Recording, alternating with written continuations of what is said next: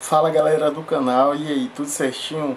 Graças ao nosso bom Deus. Sejam muito bem-vindos a mais um vídeo aqui do canal Silvas Tutores e hoje eu estou trazendo uma rapidinha para você que tem sua conta da Caixa Econômica Federal e há pouco tempo atrás começou a perceber algumas subtrações dos seus valores, começou a sumir dinheiro aí, até pequenas quantias e isso tem sido frequente, tá? Então aí é R$1,80, R$1,18, R$2,00, R$3,00, essas pequenas quantias que somando aí ao montante dá um valor bem grande, tá? Então tem muita gente com dúvidas com respeito a isso e a gente vai estar tá falando com vocês agora aí as possíveis motivos que está acontecendo. Mas antes, deixa eu te pedir aquela ajuda para que não perdemos o costume. Se inscreve no canal, ativa o sininho, deixa o like se gostar do vídeo Continuou com dúvidas, quer dar uma sugestão, uma opinião, perguntar algo, pode deixar nos comentários aí abaixo, que será um enorme prazer responder todos vocês. Beleza? Então vamos aí para o que interessa. Bom, gente, abriu o aplicativo e de repente você viu aqui na conta da Caixa Econômica Federal os valores sumindo, tá? Então são valores aí entre um real, um real oitenta, um real dezoito, dois reais. E aqui você só vê informação saque e renda básica, é, algumas siglas que você também não entende. Então, a Caixa Econômica não é muito claro quanto a isso. Mas o que possivelmente pode estar acontecendo? Isso está tendo mais frequência para aquelas pessoas que tiveram as suas contas modificadas, tá?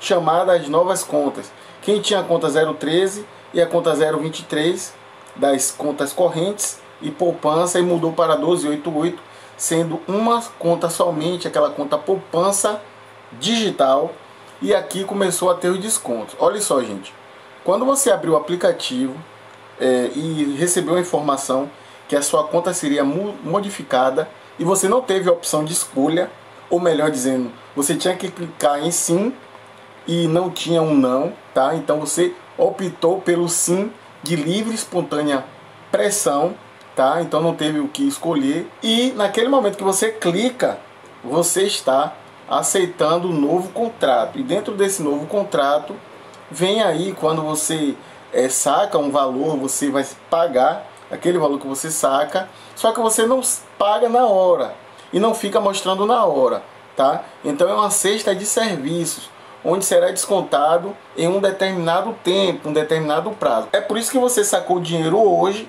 e só vai vir discriminando o saque e ou vai vir tirando esse dinheiro daqui a um mês. Tá? Então eles não descontam na hora, eles descontam depois de alguns dias. E só vem mostrar também o sinalzinho vermelho daqui a alguns dias, passando alguns dias, e isso deixa a gente bastante confuso, tá?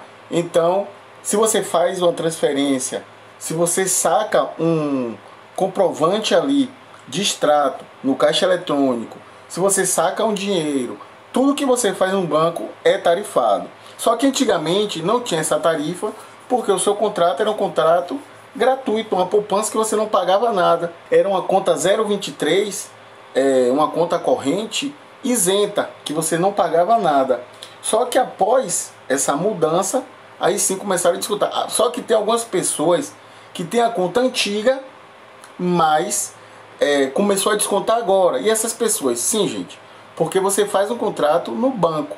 Aquele contrato ele é vigente até um certo tempo. Depois daquele tempo, o contrato é renovado. Então, quando você abriu a conta, você deu permissão para que fizesse novos contratos, só que eles têm que dar um aviso a você prévio, tá? Quando a gente olha ali o cartão de crédito, principalmente do Santander, e a gente pega na fatura e olha, ele traz a informação dizendo que o seu contrato é, vai vencer e vai ter um novo contrato em determinada data, tá? Só que na Caixa Econômica não é assim. O que está acontecendo, esses descontos pequenos, que no momento que você junta no montante aí dá um valor alto, então é por causa desses contratos, na maioria dos casos, tá gente?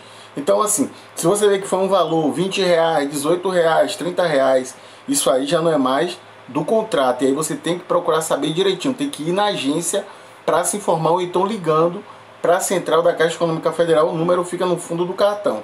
Liga para o saque, procura se informar. Mas na maioria dos casos é isso mesmo. Se você perceber, tá? é, no meu caso, eu não deixo dinheiro por esse motivo mesmo, tá?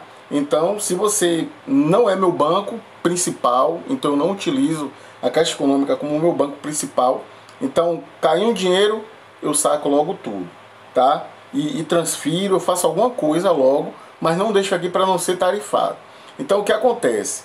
É, nesse momento aqui você percebe que aqui ficou vermelho, vamos dizer, que aqui está vermelho, aqui está vermelho, aqui está vermelho, e com a sigla informando da, do desconto, ou melhor dizendo, aqui abaixo, né, que é aqui que fica os, os lançamentos, os descontos. Então aqui embaixo está tudo marcando aqui.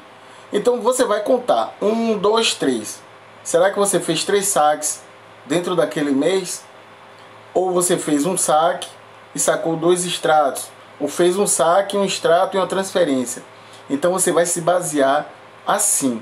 Agora, se você viu que você não utilizou o cartão, não utilizou a conta, não fez compra, não fez nada e descontou, aí você tem que entrar em contato realmente também com a caixa, tá? Mas se você contou e viu que foi os saques, então com certeza foi saque que você fez e eles descontaram porque abriu aí um novo contrato para sua conta, tá certo, gente?